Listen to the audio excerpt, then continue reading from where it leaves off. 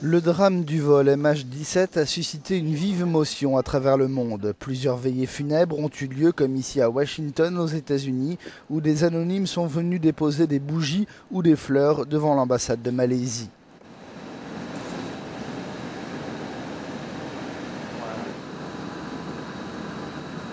Tristesse et recueillement également à Kuala Lumpur où devait atterrir l'avion, vraisemblablement abattu.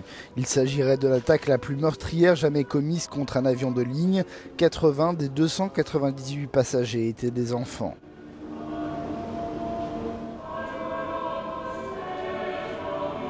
Enfin, à l'aéroport de Schiphol à Amsterdam, d'où s'est envolé le Boeing 777, de simples voyageurs mais aussi des employés continuent de déposer des fleurs et de signer un livre de condoléances. Les Pays-Bas paient un très lourd tribut dans cette tragédie. Près des deux tiers des victimes sont de nationalité néerlandaise.